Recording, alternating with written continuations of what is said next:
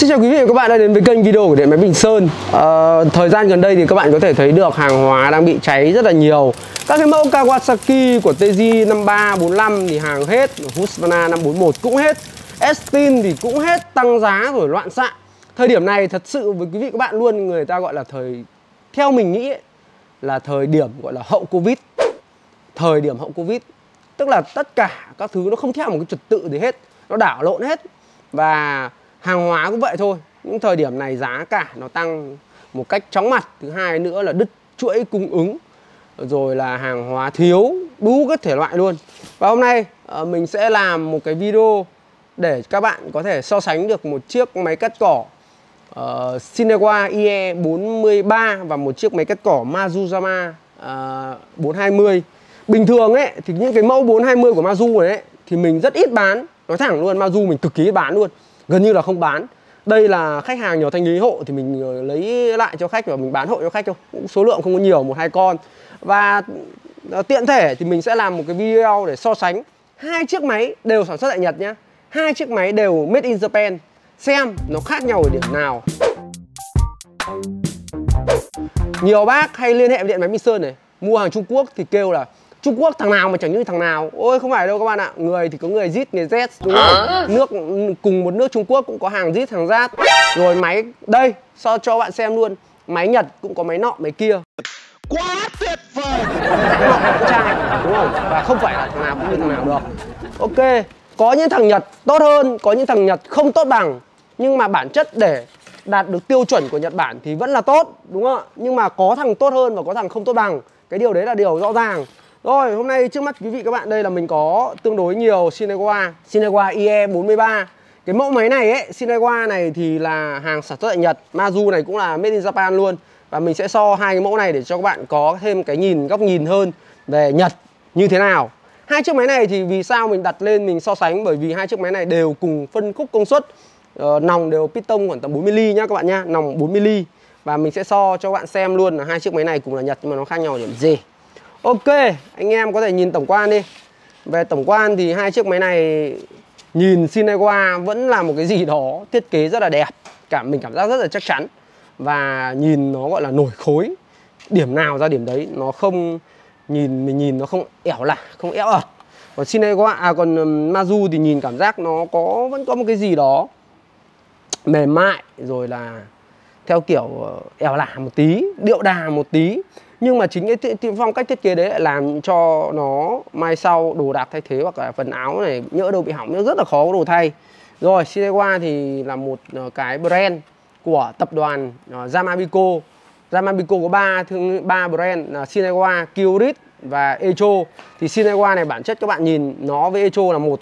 Và bản chất nhá nếu mà giá giá giá gốc ấy giá gốc từ nhà máy ra ấy, thì Mazu rẻ hơn Cinewa nhá, các bạn lưu ý nhá, giá gốc từ nhà máy ra là Mazu rẻ hơn so với thằng Cinewa này đấy.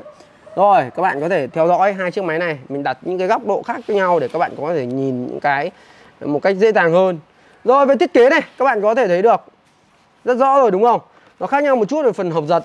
Đây, ốp giật của Cinewa thì thiết kế nó đơn giản lắm, như ốp giật bình thường thôi. Còn thằng Mazu thì nhìn nó điệu đà, nó ốp hết ra này, nhìn nó mang lại cho các bạn một cái cảm giác hầm hố hơn. 420 này này, thì ngày xưa mình bán một lô nó bị lỗi biên, còn mình không biết bây giờ nó có thay đổi gì chưa. Thấy các bác bây giờ dùng cũng khá là nhiều, nhưng mình cũng không biết là có thay đổi gì không, nhưng ngày xưa mình bán một lô bị lỗi biên. Thế là mình, kiểu là, bị chó cắn một lần ấy, thì là cứ sợ mãi cả đời thôi, nó bị ám ảnh ấy. Đó, thì Mazu này thế, mình bán một lần bị lỗi phát, mình sợ luôn. Gửi bảo hành mất luôn cả máy. Không nói điều thế nào luôn. Mà hồi đấy thì ờ, nó không phải là đơn vị hiện tại phân phối hồi đấy thì có hai công ty khác phân phối cơ không phải là tâm bình hiện tại. Rồi đây hai chiếc này. Rồi xin đây qua thì thẳng thẳng thừng mà ra mình vẫn mang lại cho mình cảm giác yên tâm hơn. Rồi nó có một cái nhược điểm như đây các bạn nhìn thấy phần bố côn không? Côn của Mazu lồi này thì nó vừa tất cả các loại cần nhá. Này, mặt tum này vừa tất cả loại cần. Còn con IE 43 này thì là nó bị thụt này. Các bạn không? Thấy nó thụt vào trong không? Thì khi đó phần chuông côn nó phải lồi và cái phần phần nói chung là phần bắp chuối này nó phải chuyên dụng phải duyên của nó thì mới vào được. Đấy các bạn nhìn này. Côn thì uh, hai thằng này phổ thông thôi đồ thay sẵn bao la nhá. Đấy trên côn của sinewa nó có logo của Echo này chữ E uh, theo kiểu viết cách điệu này. Rồi Thằng sinewa này thì nó thiết kế rất là kín đáo. Trên lốc thì không biết có chữ có dập nổi không nhỉ? Không. À Ừ không có không có dập nổi made in Japan. Còn thằng sinewa này có nhá. Sinewa nó có đóng lốc made in Japan đây. Nhiều cái quan điểm của các bác là phải có chữ made in Japan đóng ở lốc Đóng nổi, đóng nổi ở lốc thì mới là hàng Nhật. Quan điểm đấy thực sự luôn là sai Bởi vì là tùy từng hãng Có hãng người ta dập nổi lốc Có hãng người ta không. Chứ không phải hãng nào cũng dập nổi lốc. Còn chế của con uh, hiện tại nó đã thay sang cái chế ngang này. Các bạn thấy không? Chế One Pro này. Chế này là chế mã của nó là 347 nhá các bạn nhá. 347, chế One Pro 347 Kể cả chế ngang này của, của, của One nó chỉ có 3 loại thôi. Một loại là họng 10 này, một loại họng 12 Và một loại là họng 14 12 thì lắp vào 54143, họng 10 lắp vào 260 330 họng 14 thì lắp vào 430 đơn giản thế thôi nó ba loại thôi. Nên là đồ đạc con chế này thì mình khẳng định luôn là dễ thay hơn so với chế ngày xưa rất là nhiều. Chế ngày xưa nó hai kim chỉnh kim l kim h đấy rất là khó khó thay. Và cái chế đấy rất đắt hơn triệu cơ thế này thì nó sẽ rẻ hơn một xíu. Rồi các bạn thấy phần thiết kế này nó cũng có hai thằng đều có bọc hết ở phần bình xăng lớn này. Đấy ok chưa? Đều có hết. Rồi hai thằng này đều lòng 40 ly. Ôi, sơ sơ qua như vậy thôi. Trọng lượng thì thằng Mazu nặng hơn. Trọng lượng chắc chắn là thằng Mazu 420 này nặng hơn. Thằng Sinowa này nhẹ hơn. Rồi. Mình sẽ lên cho các bạn để các bạn có những cái góc nhìn rõ ràng hơn khi mà các bạn mua hàng. Về thằng Sinewa này thì khi mà các bạn mua thì cái cần của nó đây. Đây, cái bắp chuối đây, bắp chuối đặc thù đây nhá. Các bạn nhìn này. Đây nhá. Bắp chuối này mà cho vào đây thì không vừa. Bắp chuối này chỉ ăn chỉ sử dụng cho cái này đâu. Bởi vì các bạn không thấy không? Cái phần chuông côn nó lời hẳn ra. Bình thường phần chuông côn nó chỉ hở ra một nửa thôi. Đây là phần chuông côn nó hở ra hết luôn. Để cái phần này nó dài nó bắt hết vào trong cái phần này luôn. Cần này là cần xoay nhá các bạn nhá. Kể cả Mazu 420 cũng cần xoay luôn. Con này cần xoay này. Đấy. Ống cần cực kỳ đẹp luôn. Ống cần mình thẳng định bạn luôn. Trên thị trường hiện nay chưa có ống cần nào đẹp như này. Ống cần này này quá đẹp. Đẹp thật sự luôn. Bắp chuối đẹp. Cần xoay nhá. Có phai cài chỗ này chắc chắn là hai bi luôn. Hai bi cần này sẽ ít rung hơn. Không rung gần như là không rung. Khi các bạn sử dụng. Đẹp chưa? Wow, wow. đẹp thật luôn. Đầu bò này thì à, đầu bò kiểu đầu bò mori nhá. Đài loan đầu bò này sẵn luôn. Hỏng đâu thay đấy. Nói chung bắp chuối này thì à cái cần này chỉ ngại phân bắp chuối thôi. Nhưng bắp chuối này không hỏng được ít hỏng á nếu các bạn muốn mua cái bắp chuối này cũng có đồ thay nhá. Rồi ở đây nó có một cái lỗ này.